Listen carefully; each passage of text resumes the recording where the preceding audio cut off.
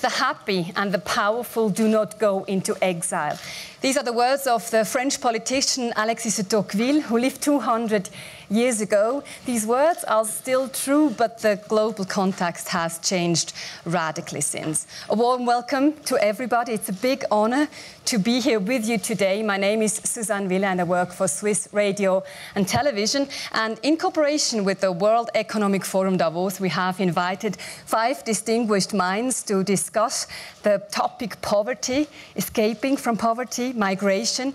And we'll talk in a minute. I'll have the pleasure to introduce my guests, but please allow me a few remarks just to frame the topic a little bit. People risking their lives in the hope of finding a better life in Europe. Some of them flee from war and torture, some of them flee from economic hardships, some with other motives, the lines are blurred. But United Nations Refugee Agency has been ringing the alarm bells. It has published a shocking figure for the first time since World War II. The number of forcibly displaced people, asylum seekers, refugees now exceeds 55 million people. So we're talking here about a massive increase of forcibly displaced people. And as you know, there's wars in Syria, Iraq, and many other regions. In addition to this, there is an economic slowdown which has an impact on migration, with people leaving their homeland looking for jobs in other European countries. Thus, we're having a very delicate situation. In Switzerland, there's the expression Dichte Stress, which perhaps can be summed up as the stress of living in close proximity to each other, density stress. In the international media, it's referred to as the Alpine Angst, which led to votes on two different anti-immigrant votes in a short time frame. But Switzerland um, is not an exception, ladies and gentlemen. There's a widespread feeling in Europe that unskilled foreigners may take away jobs from local, that migrants, they strain welfare, they strain culture. So that is a delicate situation as well. And after the unspeakable attacks in Paris at Charlie Hebdo headquarters, there's the potential of more mistrust against migrants, despite the impressive demonstration of solidarity 11 days ago. However, migrants provide flexible and valuable labor. This business depends on this. So, to summarize all these points in a nutshell, I think we must talk about global ideas and global actions to face the challenge of migration. So let's do this. Let's introduce our guests. I welcome Simonetta Sommaruga. She represents the host country of this forum. She is the president of the Swiss Confederation and Minister of Police and Justice. I also welcome right next to her Mr. President Ibrahim Boubacar Keita. He's president of the West African country of Mali, Mali belongs to the group of the least developed countries, is fighting poverty and is fighting migration. I also welcome Mr. William Lacy Swing, former US ambassador and diplomat, and today he's Director General of the International Organization for Migration. It's the leading intergovernmental organization in the field of migration. Right next to me, I welcome Hikmet Ersek. He's CEO and president of Western Union, a leading company providing financial services for migrants, thus profiting from migration, so to speak. And last but not least, I must say that on short notice, the president of Cyprus, Nikos Anastasiades, had to cancel his being here because he had to take care of important business. And on short notice, Martin Schulz, president of the European Parliament said, yes, I will join this session. So first, this shows how important the topic is, and it also shows that relationships between Switzerland and the EU are not as bad as some people might say. so thank you so much, Martin Schulz. Um, we have a 45 minutes block discussion followed by Q&As from the audience. We'll talk about labor migration, we'll talk about refugees, we'll talk about the political impact. But first, let me ask you something else. Let me work with a provocative premise saying migration today is out of control. Frau Bundespräsidentin, yes or no? Ist Migration außer Kontrolle, Migration out of control, yes or no? If uh, you look at the wars uh, that are waging, you've got civil war in certain countries, you've got uh, millions of refugees, then you have to say that uh, in these uh, regions, the situation is uh, partly out of control. I was in Jordan last year, and I went to a Jordanian refugee camp, and there were a lot of uh, Syrian refugees, and uh, Jordan has as many uh, people as Switzerland. They have a million refugees, so the situation probably is out of control there. What you do need to know, and this is the answer to your question, about 10% of refugees manage to make it to Europe. 90% of refugees tend to stay in the region. So if there is a difficult situation, then that situation is primarily difficult in the neighboring states and in the corresponding uh, regions. And so we have to ask ourselves what can Switzerland, what Europe can do to safeguard uh, the uh, life and limb of these people. Will pursue some of the points later. Mr. Swing, you've been working in many African countries as an ambassador. You've been with uh, the Organization for Migration for eight years now. The situation that we have now, how do you assess it? Is migration out of control, yes or no? I think that the world is out of control with a, a bottom, bottom-up type situation. We, we're living in a period of the greatest human mobility in recorded history. One out of every seven people on the globe is some form of migratory status. We're also in a period of the greatest number of humanitarian disasters that we've ever seen, uh, all simultaneous and very complex. And finally, we're living in a period of the greatest anti-migrant sentiment that has anyone has seen in modern times. So out of all of this basically means that we have to have policies that will help us to manage the movement. The movement of, of people now is based primarily on the fact that the world's population quadrupled for the first time in the 20th century. Never happened before, may never happen again. Numerically, there are more people on the move. Percentage wise, it's still only 3%, and countries constantly overestimate how many migrants and how many foreigners are in their country. And, and by the way, south-south migration, for example, movement within Africa, is just as great as the movement from south to north. But the prejudice is everybody's heading north, and that is not, in fact, the case. Mr. President um, Boubacar Keita, Two years ago, the north of Mali was freed from the control of terrorist groups. 100,000 people from Mali still live outside the country, and only last year, thousands of people from Mali tried to find their way to Europe. Would you say migration is out of control? Yes or no?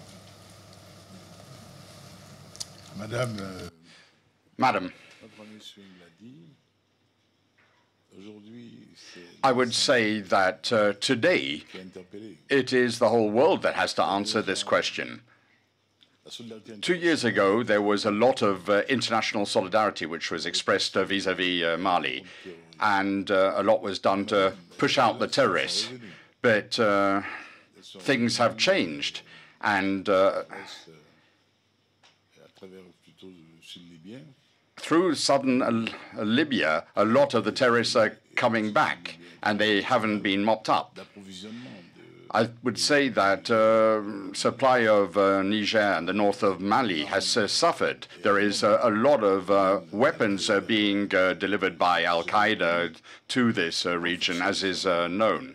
And this is strengthening the role of the terrorists in northern Mali and as a result of this is going to push a lot of people out of the country, people who we've been able to bring back with the help, of course, of uh, the International Office for Migration. I'd say that it is a challenge for the whole world today which we're facing. Everybody in their own way, with their own resources, is trying uh, to ensure that the flow of migrants uh, that uh, leave uh, these countries is as uh, low as possible. And there is, of course, a lot of migration from south to north, as we've heard. But there is a program that has been implemented, a communication program, a program of awareness raising, and uh, we try to use traditional channels as well as modern communication tools. In other words, we use everything possible to get our young people to understand what are the dangers uh, that uh, they're going to expose themselves to if they go into clandestine uh, immigration. You profit from migration, as I said. Looking at the statistic from, from the International Monetary Fund and World Bank, remittances money being sent from people abroad to their families back home is booming. We're talking about dramatic increase. Does this also show that migration is out of control? Yes or no? Well, what, what do we want to control first? That we let's ask the question: Do we want to control the people free movement or not? I think what we are doing here is that uh, you know we sit here at the World Economic Forum. we want that the money flows that we want growth, goods flows, but we don't like that the people uh, cross the borders. We hate that because suddenly we have emotional uh, things. We know that there are about 250 million people live abroad who were not born in the uh, were not born in the countries they moved, and we know that they contribute a lot to the economy. The Fortune 500 companies, 40% of the Fortune 500 companies were built by immigrants or by the children of the immigrants. So the, migra- the migrants who leave a country, move to another country, are much more entrepreneurial than the people because they have different skills. And I believe the countries, uh, they invite migrants, enjoy the migrants and the economic growth, what they contribute to that. Today, what's out of control are more emotions, I believe. You said there's a difference between uh, being a labor migrant in Europe than in the States. It is a big difference because uh, you know the country U.S. is built on migrants. I make the joke always of being a European. Everybody arrived in, Euro, uh, in the U.S. yesterday. It's only 200 years and uh, the country, you know, how U.S. is today, is built of the migrants' entrepreneurship. And they ask you what can you do rather than where you're from. Yeah, I, then they don't ask you where you're from. They ask you where, what did you do, what can you do, and that's a big emotional difference than we in Europe have it. And the information flows, by, by the way, you know, the migration is not a new issue. Millions of years people moved around, but the information we have today it's much better, and we know what's happening. The information flow is much better. So suddenly there is an emotion saying that I don't know these guys, I don't understand their religion, I don't understand their language, so it must be different. It, there's a huge fear which we, as a, a host countries, have to overcome that. Okay, we'll talk about this as well. Martin Schulz talking about uh, labor migration specifically how do we benefit from labour migration? You know, for example, when we look at the current numbers, on Monday, the International Labour Organization said 74 million young people are out of job. How would you explain to a young European person why do we benefit from migration, labour migration? First of all, I, I share the view uh, of my neighbour. The world is out of control, not the migration is out of control. But because the world is out of control, we have migration.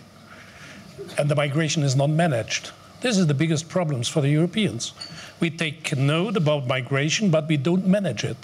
Because irresponsible politicians tell to citizens in Europe, we don't need migration, we can fight against migration, close the borders. This is uh, extreme irresponsible. I'll answer uh, immediately to your question, which is concerning labor migration within the European Union young Europeans. Uh, but this is one part of migration. The bigger problem of migration is the north-south or the south-north yeah. migration because of poverty, civil wars. We'll talk about this, but you know, concerning yeah. labor migration, how no, no, wait a minute. Uh, I, I, answer immediately to your question, but one important point for me is the following one. Um, in 2050, this is the forecast for Europe the European Union will represent 4% of world population. That means 96% of world population is not living in Europe. And this 96% of citizens have not an agreement amongst uh, each other not to come to Europe.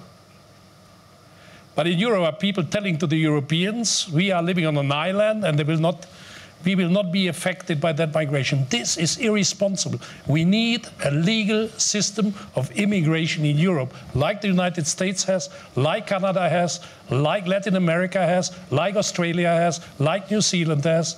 The if Europeans it's so simple, why don't we get there? If problem. it's so simple, why don't we get Labor? Why don't we have? Because I told you, because politicians all over in Europe tell to citizens we don't need it. And this is not responsible. Therefore, we need a three part system a legal system of immigration with quota. That means not everybody could come to Europe. But this influx to Europe, we have to manage it, and we have to manage it taking in account that not everybody can come, that we have to define numbers, how much people every year can come, and it must be distributed amongst the 28 member states of the European Union. Secondly, we need a system of, of temporary protection. Those citizens, for example, who are refugees from Syria coming to us. I compare them with the 80s. In the 80s of last century, we had refugees from Lebanon who went back to their country when the civil war was over. I hope that it is in a foreseeable time the case with Syria, and then we need political asylum. Please let's talk yeah. about the refugees at a later stage. I want to stick with labour migration. For example, all these people trying to find jobs in Europe, trying to find a better life. You know, it also is a brain drain for a country like Mali. Every young man, every young skilled man leaving Mali is a brain drain. What specifically do you do, Mr. President, to prevent them from leaving your country? Madame, nous sommes très soucieux we are very concerned with uh, the situation concerning uh, our youth, or at least a part of that youth. And uh, it's always uh, the same zone where there are a lot of people who emigrate. The Kayes region, uh, which is uh, close to Mauritania and Senegal, and it is in that region where there are a lot of climatic ups and downs and uh, that has a consequence on people's desires to leave. For a very long time now, we've had a partnership with certain countries, including France. And we, we try to have a kind of co-management uh, to allow people to come back to their country of origin. And we have established programs, and we work together with the, the emigrants themselves. And uh, when our partners uh, manage to set up a program, a joint program uh, with us, we then uh, try and uh, get information uh, in the countries that welcome these immigrants, such as in France. And uh, we try to ensure that uh, you don't have a kind of uh, floating migrant when he comes back to Mali and we try and uh, help them. We also try and make sure that their savings are protected. That's very important. Somebody lives in uh, Europe, in France, and we know the kind of jobs that they have to do. Sending back money from Mali to Mali, which is almost as much as the whole gross national product. Your remittances as a life along for poor countries, how important is that concerning migration? Well, it's extremely important. If I put some things in perspective, Mali is one of our countries where we have 800 locations as Western Union, and it's important that this money goes to the people who are really in need. So someone in France working uh, and sending uh, money to Mali, the first main reason we know from Western Union is education. 30% of the uh, transactions worldwide send that the person leaves the country, goes to another country, wants that their children have a better life. So the pe people sending money to Mali are want that their children have a better life in, the, in their environment. However, that money, that money often is not being reinvested, you know, with it is. Schools it is. That's wrong. That's this is what assumption. I heard from the Mali government. Well, you know, we do educational programs, but you know, one thing is very important. 51% of the senders, in our case, are women, and women spend money for their families. And we know from our surveys is that the men don't, uh, uh, you know, the women don't use the money from themselves. They support their families back home.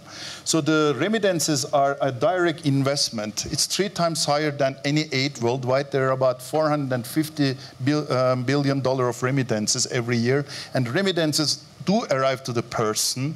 It's no corruption between that. The money is not lost. The person gets the $300. Can, the children can go to a school and develop themselves. Now, we need the government involvement here also to develop programs for education, to use the money in a wise way. But and interestingly, there's different projects of how to make use of all these labor migrants living abroad. There's banks being discussed about diaspora bonds like in Ethiopia. Mr. Lacy Swing, do we benefit from migration, or do the poor country benefit from labor migration enough? Again, as President Schulz has said, if you have the right policies. Basically, we should not be talking about brain drain, we should be talking about brain circulation. The diaspora have the capacity to contribute to home society as well as host society. But if you don't have policies that permits that, you need a high road scenario, multiple entry visas, multiple citizenships. We all have multiple identities today. It's a virtual uh, uh, world, a digital world. So why shouldn't we open up more on that? But if we don't give diaspora a chance, they cannot contribute. It's very important. We also need to reduce the cost of the transfer of remittances. Today it's about 435 billion. It'll pass 500 billion next year. But if you're paying 10 to 12 percent of that to get your money home, you're losing 40 billion dollars for development, even though these are private transfers. What do you say to this, Mr. Excellent. Well, uh, that's, you know, I, first of all, the it's average, a great idea, isn't it? I don't like this idea. I'm so, not surprised. Uh, if I, uh, first of all, you know, I am the only, uh, I am the only business leader here, so I, You're strong, you can handle that. okay. Uh, no, first of all, uh, you know, Western Union, uh, we believe that we are in five, 200 countries and 500,000 locations. If we wouldn't make money, we wouldn't be there. That's, first of all, every business leader will say. The second thing on the pricing, uh, you know, only the sender pays the fee. So the guy who has the money pays the fee. The receiver doesn't pay any fee. So he gets the remittances as full amount back home, which he can send. If I send $500, I get in the, you know, $500 in Mali or somewhere in the world that I can't spend the money. The sender pay, uh, sends the fee. So it's a big difference. And then I wouldn't be in 500,000 uh, locations, 500, uh, 200 countries. It has compliance issues. It has settlement issues. So to run a business, to be, uh, uh, to be successful, obviously our aim is also to make some money. And our customers like that, actually. Our, I, I will, we wouldn't be so successful successful in Western Union if we wouldn't have the competitive advantage. You know, since Davos is always trying solution, I suggest that you, Mr. Lacy Swing, and the president of Mali, and you sit together yeah. to build maybe some project Excellent. between bank lower fees. And we we'll, we'll, we'll leave the topic to this. We, we have, have, to move on. Of pilot projects to reduce the cost. We have one now with the Universal Postal Union in Bern. Yeah. We're starting a couple pilot projects, one in Burundi, but we'll come back to that when yeah, we talk. you know, he's not very enthusiastic about this. We'll talk about this later. Ms. Ms. Sommaruga, you know, talking about labor migration, just to sum up this, this particular point, you know, we have this discussion in Switzerland. Why, why don't people understand enough that we benefit from migration? How do you explain this and what can we do against this? Ich glaube nicht, dass man I don't think that one can say that in Switzerland uh, that we don't see the advantage of migrant workers. We've got 1.3 million uh, Europeans who live in Switzerland.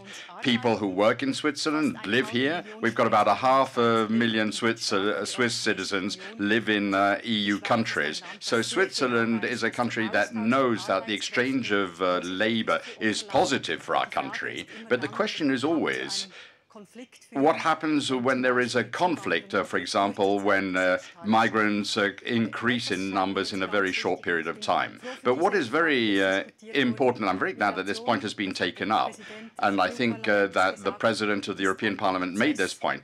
Migration is a process, it's not a problem.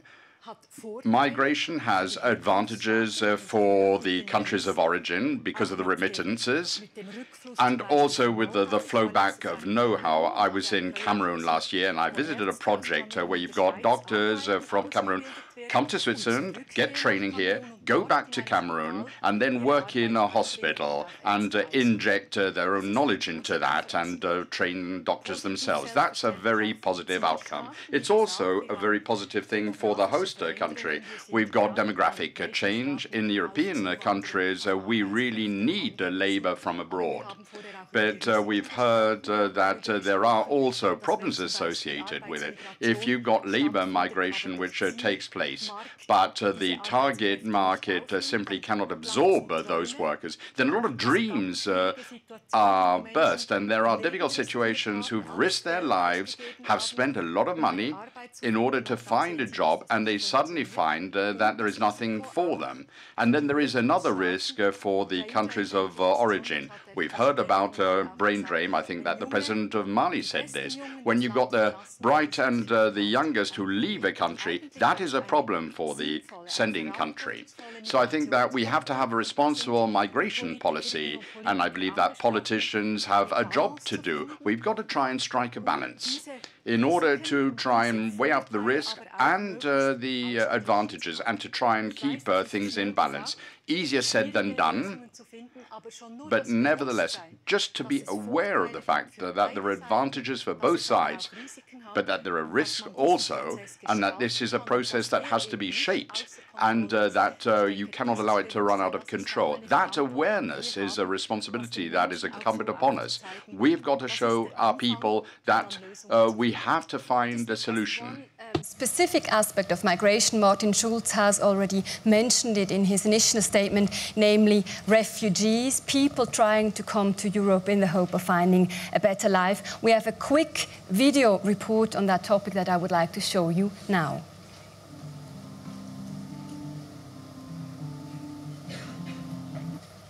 So it's obviously not ready. I'm asking the technicians, can we show the video report?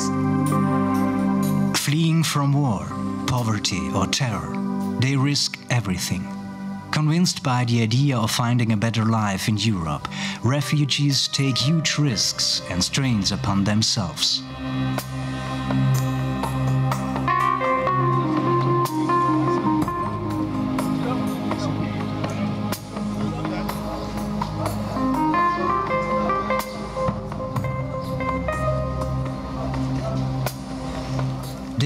Not be deterred from their dream of making a new start in Europe, neither from high fences nor from life threatening situations, like treacherous journeys across the Mediterranean.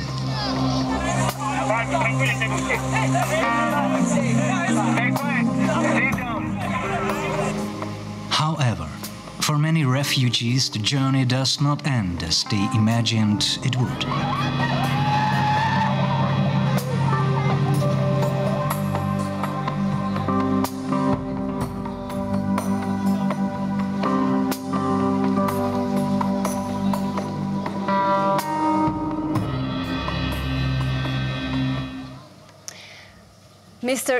Mr. Let me address you directly. Among the 100,070 people arriving at Italy's shore last year, over 9,000 people were from Mali. When you see these pictures, what thought crosses your mind, if I may ask you? Tragedy humaine. It's a human tragedy, madam. And when I say human tragedy, I mean in the fullest sense of the term when you realize uh, the attachment uh, to life of our youth, if uh, they're prepared uh, to risk uh, the waves uh, and the sea and all the conditions of crossing the oceans or crossing the Mediterranean. In fact, when they get to the Mediterranean, they're almost there, but they've often had to cross the desert to get there. Imagine that. And uh, we've seen the people drowning in uh, the sea, but we don't see how many people who die of thirst in uh, the desert, people who are abandoned.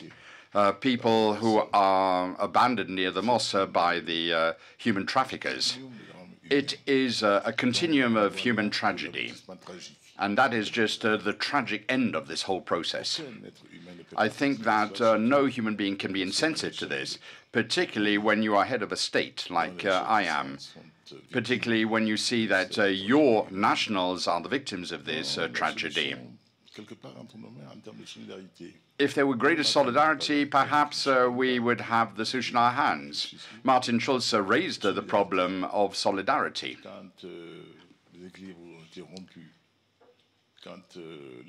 When the state uh, uh, keeps on repeating uh, slogans, or when the state um, really no longer functions, and uh, there are many countries in our region where everything has to be started from scratch and where we really need to build uh, really anew, and everything is a challenge. But uh, we really need to consider the future of uh, my country, and it's also the future of the world to, to a certain extent.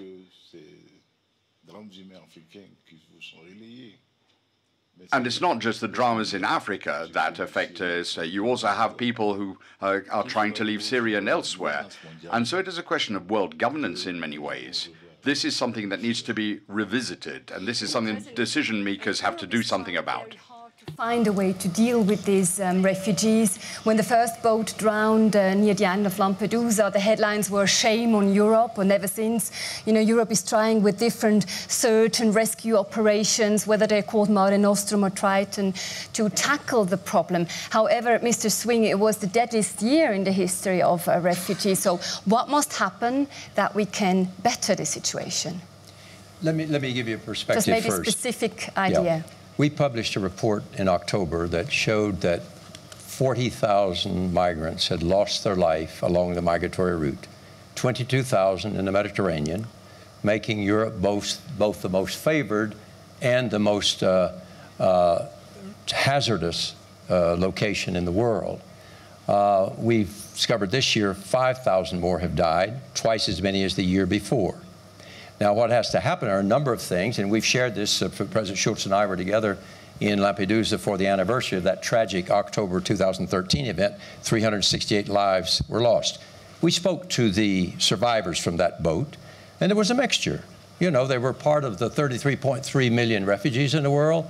They were part of the 16.7 million displaced persons. They were part of those Syrians who were going north to join their families, probably in Scandinavia.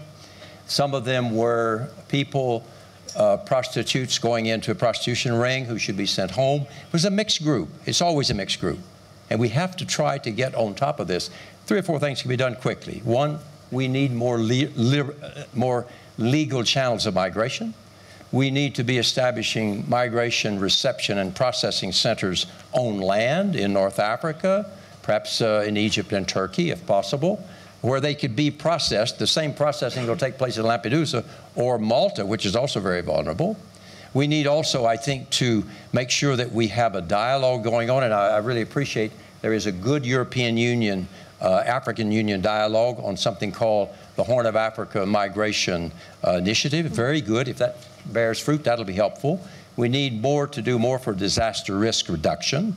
But, but doesn't the opposite happen now? The way I see it now, Europe is trying to find a way, which is yeah. very difficult. You know, yeah. Great Britain says we don't want to finance any search and rescue operations because this is another pull factor. The more people we take out of the water, the more people think we'll just go there and see what happens.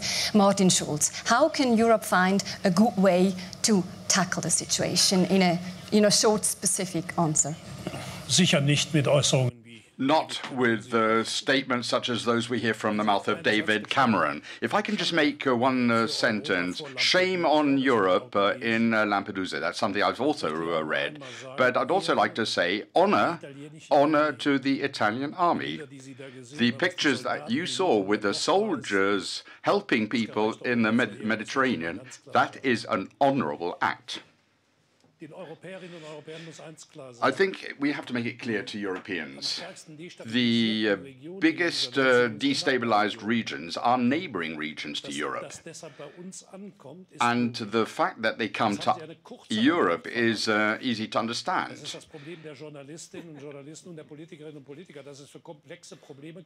You know, unfortunately, there's always a bit of a problem because journalists always ask us questions. Uh, they sound uh, simple, but uh, we have to give a long answer to be able to explain things. But let me just answer your point in this way. The Pope, when I met him, said, I am uh, the uh, child of Italian immigrants who went to Latin America.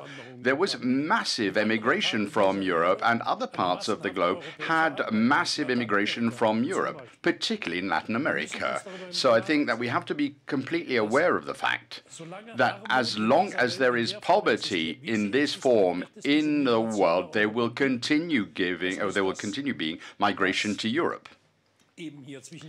And we've heard uh, what was discussed between uh, the two here. That's a very interesting process. How we get economic growth, how do we get jobs, how do we get stability in the crisis regions of this world? And I think I've got a bit of a provocative answer to you. If we were to see what uh, our friend uh, Keita has to do in his country, because you've got uh, criminal uh, gangs uh, who have uh, plundered Gaddafi's uh, uh, arsenal and are destabilizing uh, Mali with this. Gaddafi spent billions in order to buy ammunition. In other words, Libya is a very rich country. If we could provide stability to Libya with the money that this dictator spent on arms, would be able to create wealth and prosperity. So we need a different form of international economic cooperation, and we would be able to easily solve this problem. You know, talking about the unstable political situation preventing also business from coming to African countries. Uh, the situation in the north is not yet stabilized, and you've been also criticized for not doing enough to pacify the region. You've been criticized for, you know, buying a very expensive new presidential aircraft for millions of dollars in a time where international aid donors were trying to rebuild the nation. So let's ask you specifically, what do you do to convince investors to come to your country and help fighting poverty.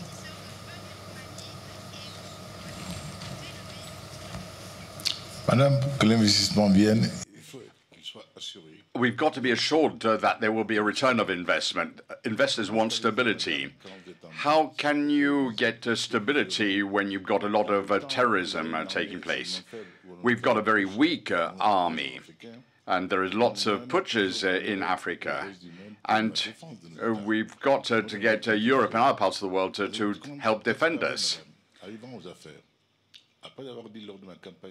During my presidential campaign, I said uh, that uh, the resources uh, would be made available and that we wanted to make sure that we don't do things artificially. We want to do things in a dignified uh, way. And I said that I would also implement a program to uh, equip uh, the army, that we would train the army. And uh, we've also been working together with Central African uh, Republic. But all I can tell you is I'm doing my duty. And if in this path uh, there are errors that are made, uh, procedural mistakes, uh, that can be understood and things uh, can be corrected. But nothing will prevent me to carry out the duties of the president and to make sure that I can make Mali a country dignified of that name. And I will assume my responsibilities. And I will ensure that we will provide uh, investments and I will make sure that those investments are secure. Um, to sum up this last topic of, of refugees, Ms. Sommaruga, um, we have to talk about the sharing of burdens because this is a big issue. We will not fight poverty from one day to the other.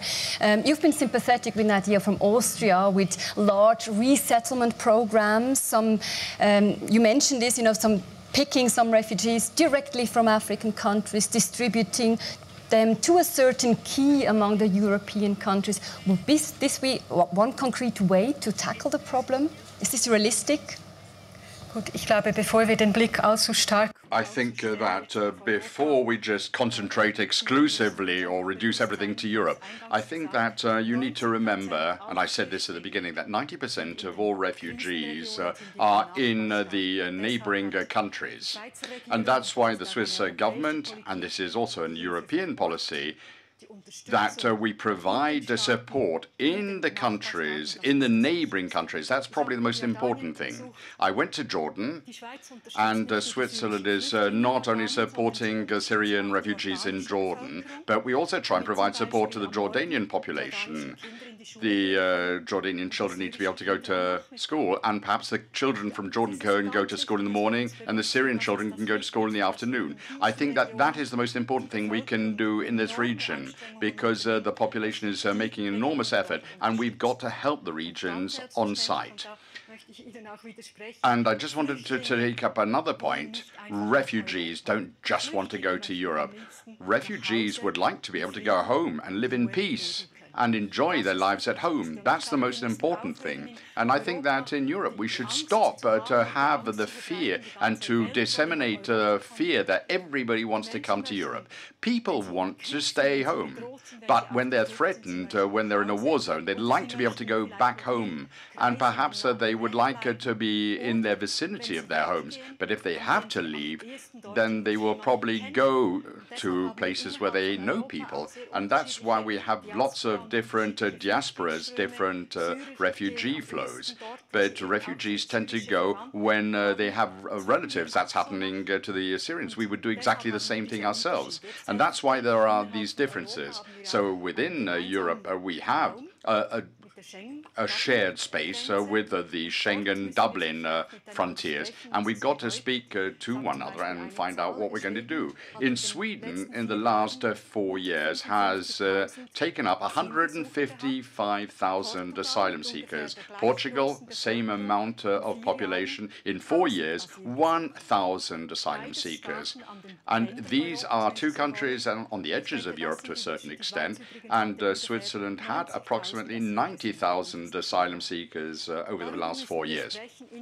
We've got to talk about this uh, within Europe so that we can have a joint refugee policy I think that we're in the process of working on this, uh, but there is a need to do better.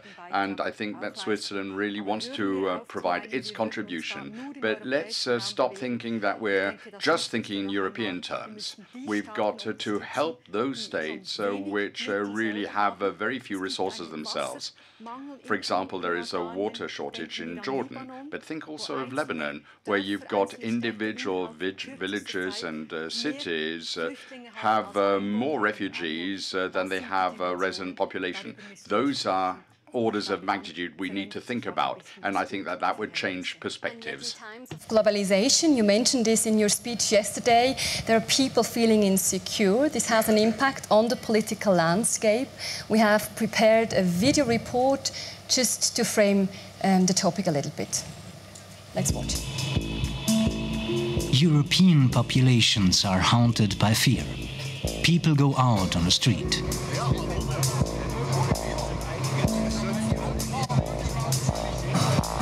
I'm a self-employed builder. Uh, we've got too, far too many in here at the moment. We need to put a stop to it all, send them back. Ich bin der Meinung, die Moslems sollen ihre eigenen Länder aufbauen. Wir brauchen sie nicht. Right-wing conservative parties make an issue of foreign infiltration, thereby gaining the approval of many voters. The concept is clear. Die Schweiz will sich stärker gegen Zuwanderung abschotten. Die Schweiz zieht die Grenzen hoch. Before talking about this last point, Hikmet Ersek, you were still uh, also a migrant sending money back to his father. When you hear this self-employed builder saying, send them back, how does this make you feel? Not good. Um, I remember as I was living in Europe, um, and I was kind of successful, and you know, I moved uh, to, to Vienna from, from, from Turkey, 1979. And I had a hard time. I had to go to school and go to the university. So I was lucky that I played a little bit basketball, so they paid for my hobby. And I finished somehow my university and was then successful. And I was working on my career ladder. And people were always asking me from Europe, where are you from? Nobody asked me, what did you achieved?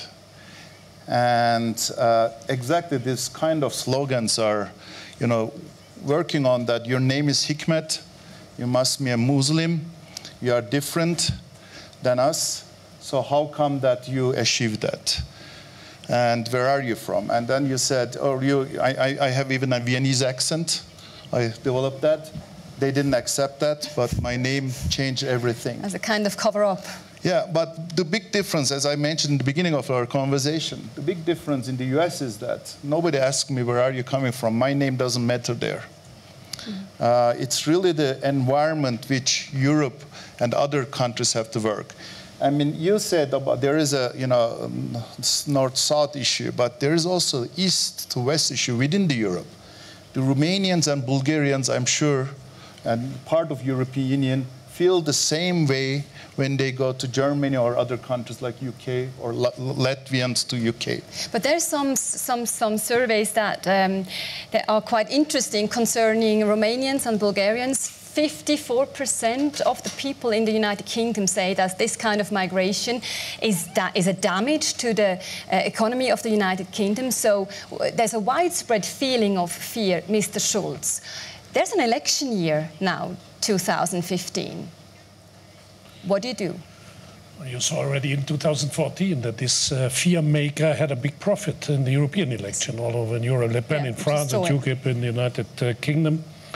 Um, what a nonsense. Uh, in my country, in Germany, without the Romanians and the Bulgarians, our healthcare system would not function. And this is the same, uh, by the way, in the United Kingdom. But uh, these xenophobic speeches uh, uh, are uh, very meaningful for them because we must take into account people fear to lose. So it's also a failure of the established parties that they didn't take the fears seriously? It is. A, we are here in the World Economic Forum, and uh, therefore I uh, want to add, since 20 years, we are living in an economic development where the middle class is eroded. We have every day a billionaire more and thousands and thousands of poor people more.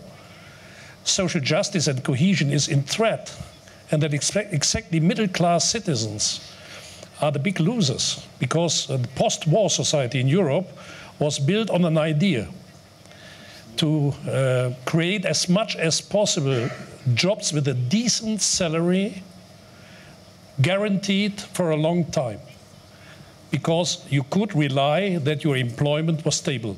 And what we see today is the other way around. More and more exactly in the middle class, you have to survive, men and uh, women working uh, on two, three, four different jobs, and even that is not enough to survive. And now you if see we will not happens? change our economic development, if we will not reform our uh, economy uh, to share the wealth uh, more just than it is the case, that will continue.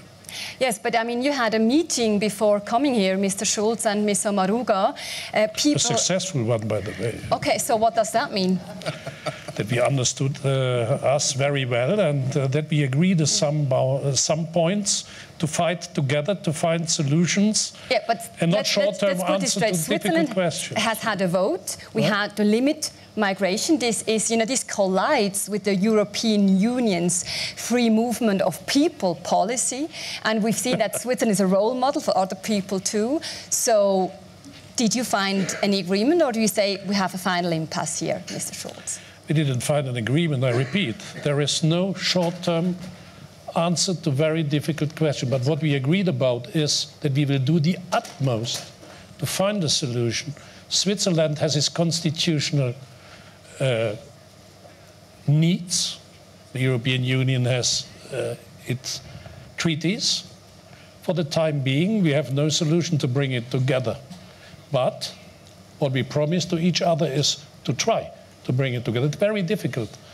But uh, we uh, should try to find solutions satisfying Switzerland and protecting the treaties of the European Union. I repeat, but not easy, but we will try to do it. To implement this vote will be a big challenge for you, also to satisfy all the people who voted yes on the 9th of February, seeing that Switzerland is now a role model for other countries. As I said, David Cameron not calling for quotas, but also wanting to curb down immigration. What, what, what do you say to this? I think that we've got to be a bit uh, careful that we don't uh, transform this into a purely Swiss uh, question. Of course, there was a referendum and a decision was taken by the people, and there was a very clear position.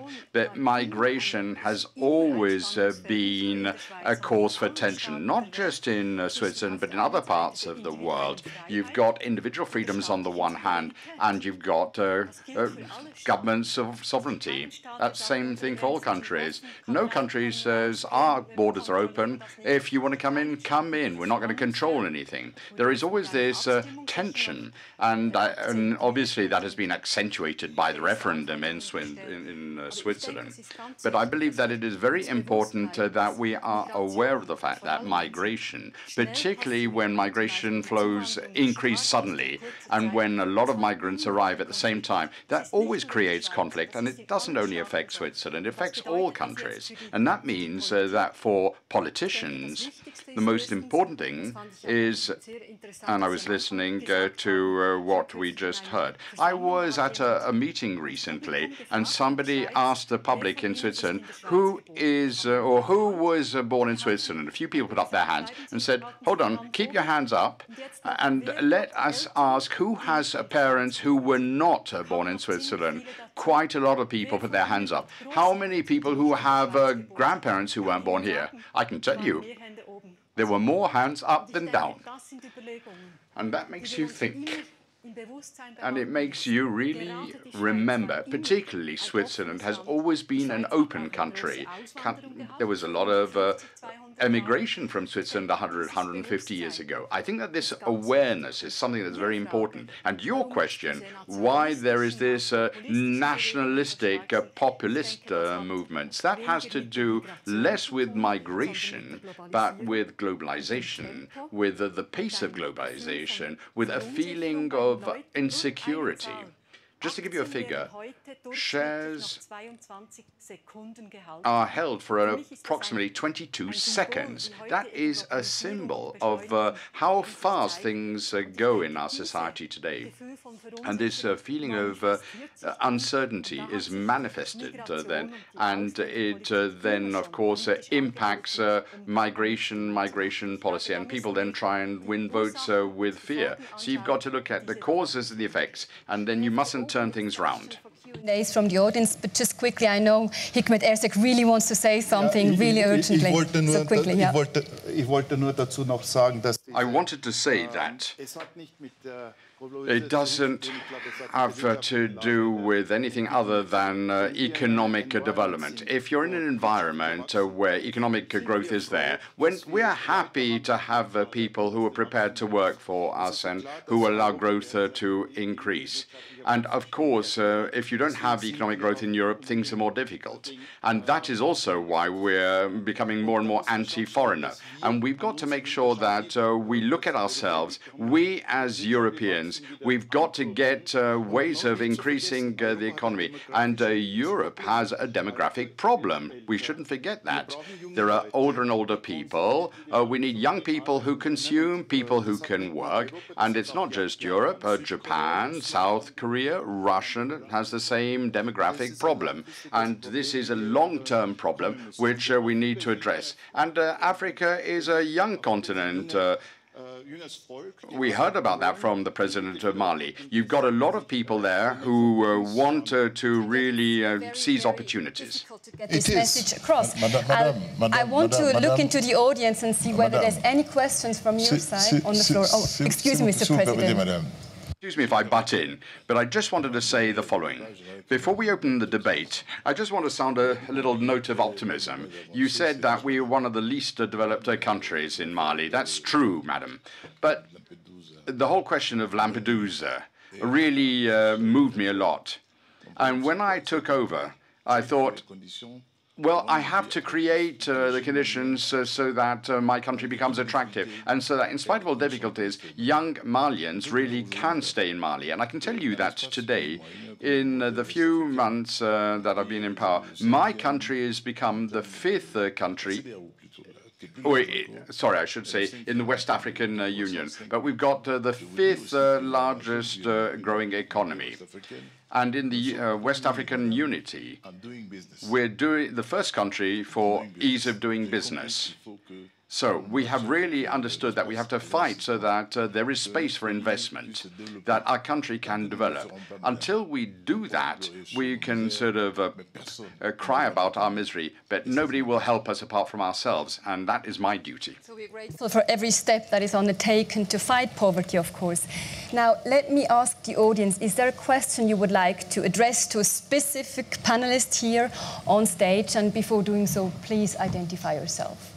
And because we're running out of time, I beg you to be short and concise. Well, that, there's one question in the second row.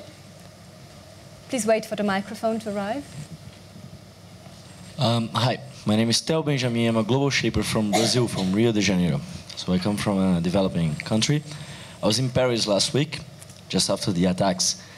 And I would like to ask Mrs. Swing, what are your thoughts? Uh, how could this, this incident in Paris could influence this whole xenophobic movement and this whole thing, especially you two were discussing before? Thank you. Thank you very much for the question. It's a very important one. I hope that uh, out of this we can resist from becoming more anti-migrant, anti-Islamist, anti uh, anything foreign, because we need to keep things in perspective. And this is not to say that Europe's challenge is not an important one. But if you look at, if you say 170,000 migrants went there, we call irregularly, in other words, without proper papers, in 2014. We need to keep in mind they're going into a population area of 500 million. Now, Europe's challenge in many ways, I think, is both psychological and political. Psychological in the sense that for four centuries, Europe was basically a, a continent of origin. Europe peopled the world. For four decades, they've become a continent of destination. And that's an enormous psychological shift, and I'm not making light of it. We want to be helpful. We consider ourselves partners with the EU. All 28 EU members are also members of IOM.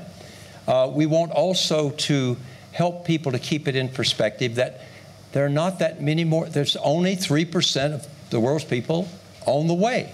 The numbers How do you want to do this? How do you want to, you, you know, have influence? to do, first of all, you have you have to accept some political leadership. It takes a lot of political courage, and quite frankly, my judgment is uh, there's not a lot of political courage right now on the migration issue. There needs to be more. So you need to do more public education, public information, talking, letting migrants speak for themselves. And I would say that you've got two challenges you have to meet. Number one, to change the migration narrative from what's essentially negative now to a more historically balanced uh, narrative, and that means the media also, that overwhelmingly migration has been historically positive. Most of our countries built on the backs of migrants. Secondly, we have to learn and help countries to manage inexorably growing social, cultural, religious, and ethnic diversity. My colleague uh, from Western Union is just saying this is a diversity question. If we don't master that, we'll ultimately fail. Another question from the audience. Seems to be a huge challenge, though, because there was also a survey in Switzerland saying that every second person in Switzerland feels threatened by Muslims after the attacks in Paris. So that was a very legitimate question. Thank you so much. Time is running out, and you know, rather than me summarizing this discussion and talking about the core findings, why don't we do this together as a group? You know, just to remind us of what, what's been said on stage today because the spirit of Davos also implies finding, um, you know, interesting people, clever people to find solutions. So let's try this. You've been listening to each other for an hour now. Was there anything that one of your co-panelists said that maybe will change your work concerning migration or that will have an impact, a small impact on your work that you will take back home? Um, please don't say no now, otherwise I'm very disappointed. Who wants to go first? Maybe Mr. President, Ibrahim Boubacar Keita. Euh, je vais.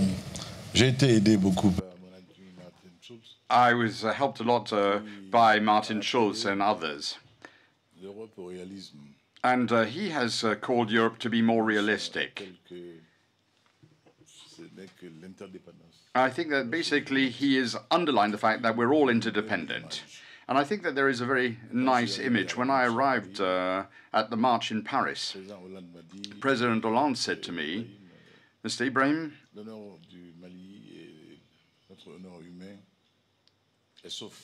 our honor, the honor of uh, Mali, the honor of uh, France has been saved by a Malian. Ce garçon a sauvé des vies juives. And uh, this young man saved uh, Jewish lives. And there was a man standing on my right, and who'd uh, linked arms with me. And uh, he said to me, Mr. Keita, that image is very, very nice. This uh, young Muslim from uh, Mali saving Jewish lives. He was a hero. It's something we need to speak to the world about. And I really think that that's the image I'm left with. Mr. Um, William Lacy Swing said, what else have you gained from your co-panelists over the last hour? Yes?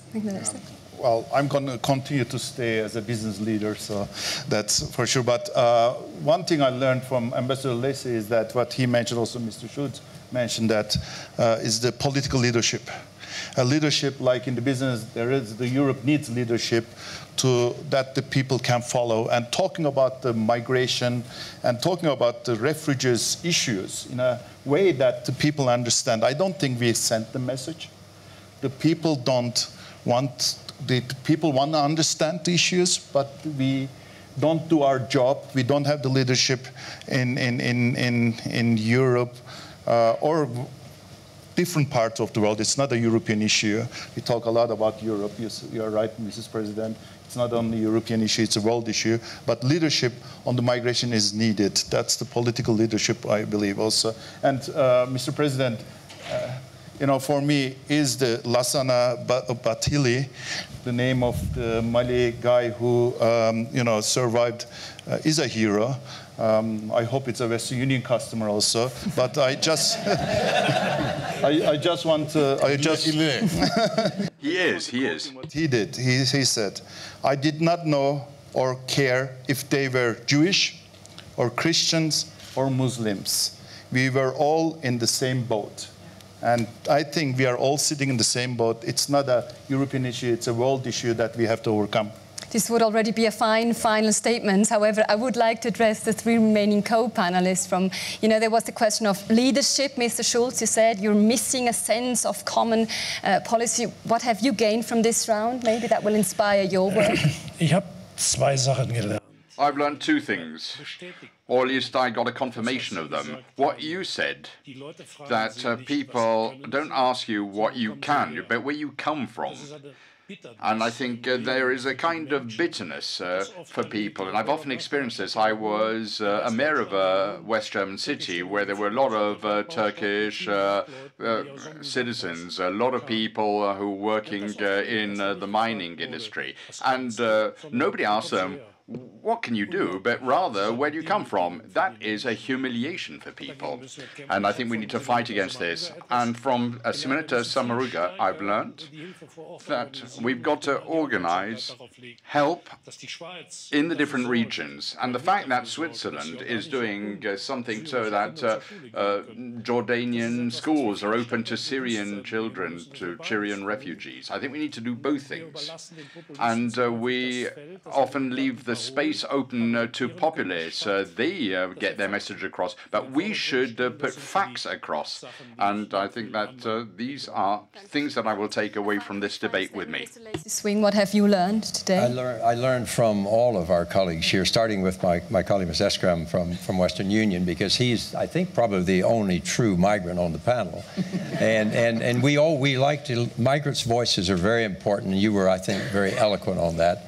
Uh, obviously, from President Keita, I, I, he is someone I always learn from, and what he had to say about the kinds of challenges that have to be met if we're going to uh, try to. We cannot stop people and shouldn't stop them from migrating, but we have to help give them a better life at home, and that's what the president is seized with. Of course, President Sommaruga, I also uh, learned a great deal from, but I particularly liked your formulation that migration is a process, not a problem. It's, it's not a problem, it's a challenge. And I think we need, and from that, of course, uh, from uh, President Schulz, uh, I, I, always listen very carefully to giving us the figures, the demographic figures that were mentioned several times. It's very important. But I think overall, I came away with a perspective that leaves me with the thought of two paradoxes that we're going to have to conjugate or deal with or resolve. One, we've got to learn to deal with the problem of national sovereignty versus individual freedom, and the other paradox between national security and human security. If we can wrap those two paradoxes up in a formula, like you said, a, a process, then I think we'll be all right. But there's Thank a lot of work to do. Thank you, Mr. Swing. Time is running out, but Frau Bundespräsidentin, one single learning that you gained from your co-panelists, maybe? Ich glaube, was ganz wichtig I think that what was important is what we've heard here, and uh, which I like to take away as a message. The president of Mali made the point. It is not correct uh, that uh, the southern countries uh, aren't um, or don't care when their young people uh, leave their countries and go to Europe and uh, will get a better life in Europe. On the contrary, a state and a president of a state uh, has an interest uh, that his population, that his young people stay in the country and that they have uh, prospects in that country. And I think that uh, Switzerland has migration partnerships with a number of countries uh, in order to achieve that. Migration is a subject uh, which can only be approached on a partnership basis. It's not uh, we're helping people, people helping us. We both have an interest in dealing with the challenge and looking for common solutions. But you said, uh, or you asked rather, what we've learned. I hope, and it's looking pretty good. The panel has uh, led to a situation where we have the president of uh, the International uh, Migration Office and uh, Western Union are together, and if uh, something of uh, the 4 billion francs or euros or dollars, whatever, if that money could go into the countries uh, of origin, then we will have really produced some real effect, an effect that we all uh, would like to hope will be realized. Discussion we've learned fighting migration doesn't go without fighting poverty. This needs time, leadership, political will, and also people like you who are ready to deal with this issue in public. So thank you so much. Thank you, dear audience, and a warm round of applause for our panelists.